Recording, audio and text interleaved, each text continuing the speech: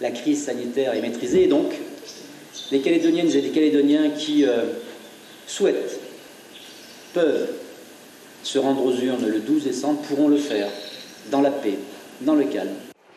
Le référendum sur l'indépendance de la Nouvelle-Calédonie aura bien lieu le 12 décembre. Le haut-commissaire, représentant de l'État, l'a annoncé en province nord, fief des indépendantistes.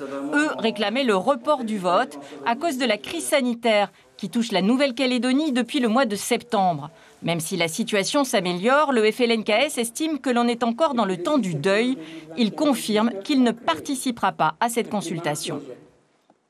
Si le 12 décembre, une partie seulement de la population va voter avec une abstention plus ou moins massive.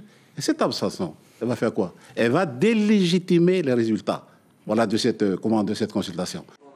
Les non-indépendantistes sont satisfaits. Ils étaient favorables au maintien du référendum. Je considère que cette décision est normale. Euh, les critères sanitaires aujourd'hui sont plutôt favorables. Il aurait été plutôt euh, anormal que l'État fasse le choix inverse. Donc c'est une bonne chose que ce référendum se tienne le 12 décembre prochain, de manière à passer à la suite le plus vite possible. Les Calédoniens sont eux aussi partagés. C'est une très bonne chose, il faut que ce soit fait, qu'on puisse avancer.